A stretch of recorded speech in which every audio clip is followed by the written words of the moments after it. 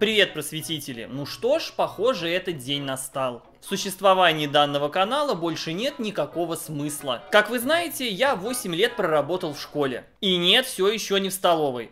Эта шутка никогда не устареет. И поэтому свои видео я всегда воспринимал как некий мостик между педагогическими работниками и вами. С первых же роликов я пытался ответить на вопросы, которые появляются у общественности к педагогам. Почему учителя вечно на что-то жалуются? А имеет ли учитель право? А чего они тогда в школу поперлись, раз здесь такие зарплаты? А разве сами педагоги не провоцируют буллинг своим поведением? А что сделала школа? Я надеюсь, вы смотрели эти выпуски. Нет.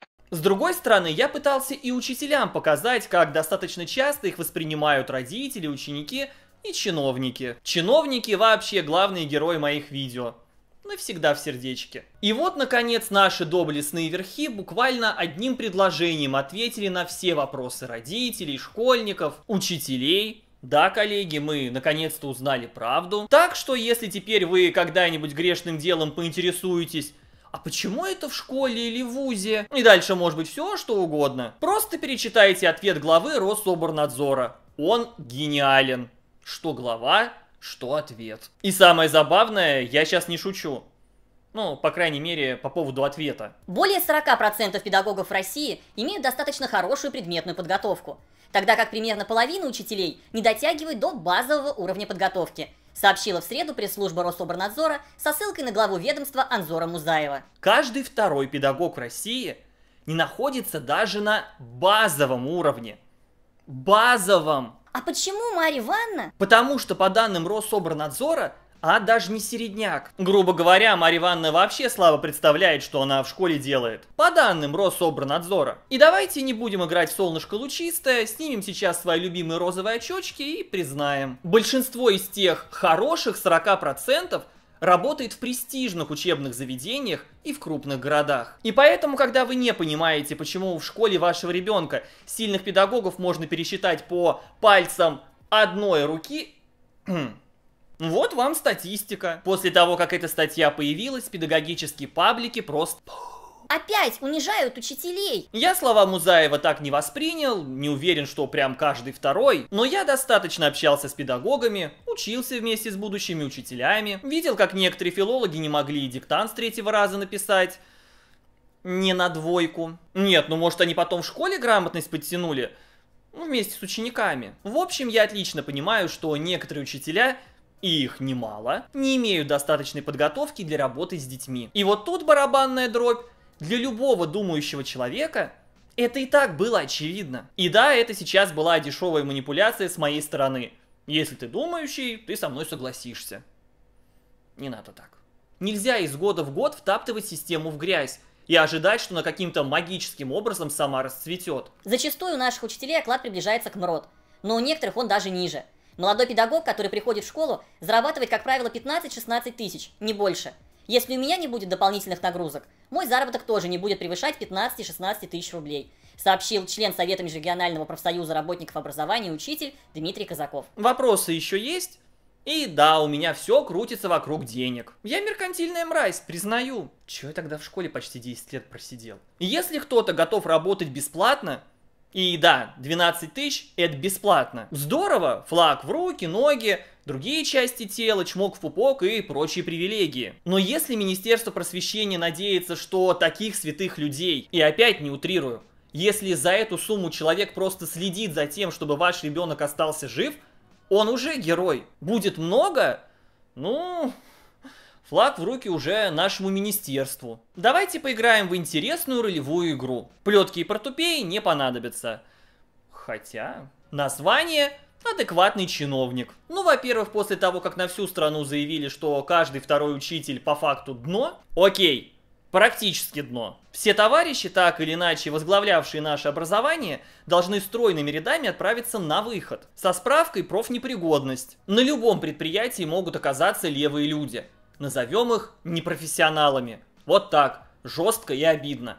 Но когда на вашей условной фабрике 50% непрофессионалов, возникает вопрос, а чем там руководство занимается? И тут либо претензии к вам, либо стоит признать, что вся система дала трещину вплоть до фундамента. И меняй не меняй руководителей, Вот как в басне Крылова. Люди, далекие от образования, обратили внимание на учителей. Каждый второй. А меня вот интересует. Не забывайте, мы в адекватного чиновника играем.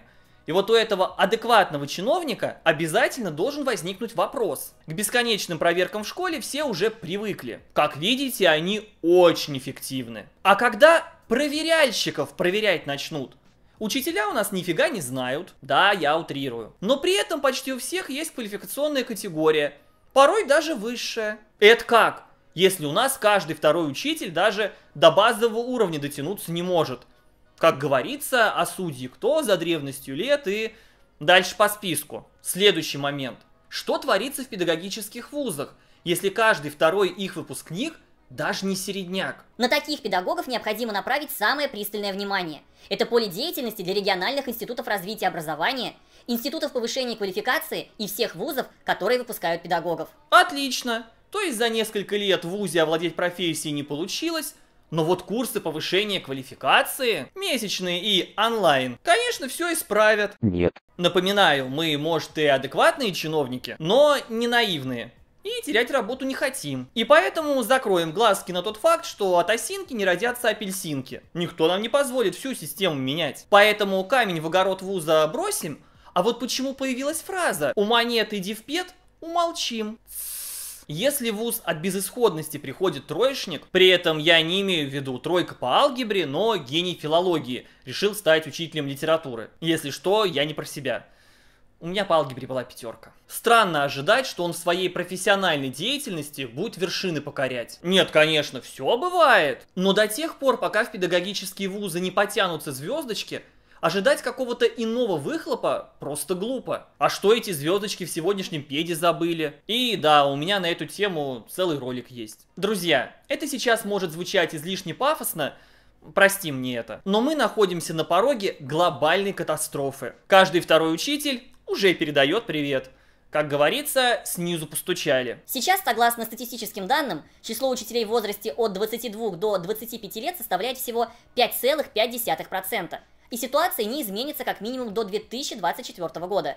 Если не предпринять радикальные меры, через 5-8 лет ситуация значительно ухудшится. Когда из школы уйдут последние советские учителя, сегодняшняя статистика покажется просто сказкой. Адекватная молодежь не идет в школу. Напоминаю, всегда есть исключения. Возможно, одно из них сидит перед вами. Хотя, конечно, я и адекватность... Это сильно. Российские школы в провинции стареют. Молодые и идейные, а такие есть, переступают порог, офигевают от требований и просто потрясающей суммы в квиточке. Эм, а это аванс? Нет. И бегут. А еще не надо забывать, что ты весь такой в белом пальтишке и гениальными идеями. Придешь работать в коллектив с теми самыми каждый второй. И здесь тебе очень быстро дадут понять, что выскочек тут не любят. К 2020 году нехватка педагогов в российских школах составила 180 тысяч человек. При этом из 73 тысяч человек, ежегодно поступающих на бюджет педагогические вузы, только 33-34 тысячи выпускников работают потом в школах. Интересно, и почему берут кого попало? Когда я читал комментарии учителей, мне больше всего запал в душу один ответ. Пока все возмущались, мы не такие, да все с нашим уровнем подготовки нормально, женщина огорошила всех. Я действительно не знаю свой предмет. Я веду физику и алгебру и по большому счету не разбираюсь в том, что преподаю. Какой кошмар! Как же так? По образованию я учитель музыки. И еще вопросы есть? В их школе нет учителей математики. Вот совсем. К ЕГЭ детей готовят историк, биолог и музыкант. Может им часов просто мало? Нахапали себе? Нет? Женщина бы с радостью уступила место профессионалу. Только вот они не едут в их деревню. И не поедут. Вот педагоги советской закалки и затыкают собой все дыры. Естественно, учитель музыки на алгебре до базового уровня не дотягивает. И учитель, который на две с половиной ставки работает, тоже мало куда дотянется. Ну, разве что до петли. Потому что с такой нагрузкой он явно не ко всем урокам готовится. А у нас что? Индивидуальный подход, новые технологии, карта урока. Знаете, куда себе эту карту?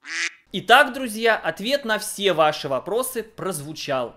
Половина российских учителей не очень. К сожалению, кроме этого, безусловно важного заявления, Все, что получит российское образование, как мне кажется, исключительно предположение. Это новые проверки и отчеты. И даже не сомневайтесь, в следующем году по бумагам все будет значительно лучше. 146%. В реальности же, родители, готовьте деньги на репетиторов. Они вашим детям пригодятся. Потому что я не вижу других кандидатов. Я не вижу предпосылок каким-то серьезным изменениям. Систему школа, педагогический вуз школа никто в глобальном плане менять не будет, потому что это банально дорого и долго. А косметический ремонт тут уже не поможет, все балки перекрытия давно сгнили. Хотя вот педагогов на курс повышения квалификации отправим. Если вам понравилось это видео, обязательно поддержите его лайком. Кроме того, не забывайте про подписку, комментарий, колокольчик.